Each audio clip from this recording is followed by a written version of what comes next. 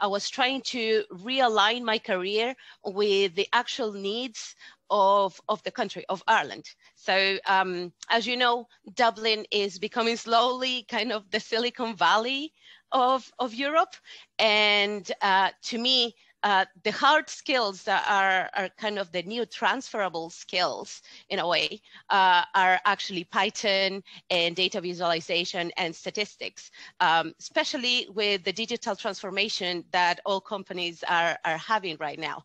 Well, I definitely learned a lot in the course. I mean, first of all, it's a professional certificate, so that's very good.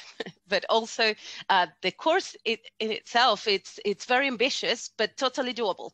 So so it is well structured. You have live sessions. And before taking this course, I took some other online courses. And this is definitely not that you're going to sit in front of your computer or laptop and that you're going to be um, watching a video. No, in this case, there will be live interaction. Uh, there will be one-on-one uh, mentoring sessions. There will be assignments, workshops, uh, team work. Um, and this is all in particular, and this was important for me. Uh, the, you will get actually the high standards that you would expect from higher education.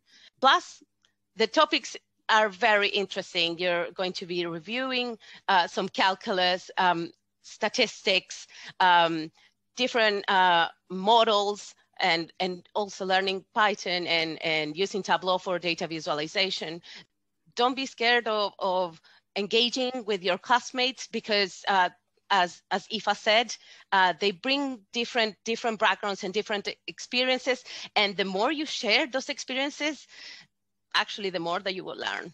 So, so I hope that that my experience can actually motivate you to to pursue this course because it's fantastic.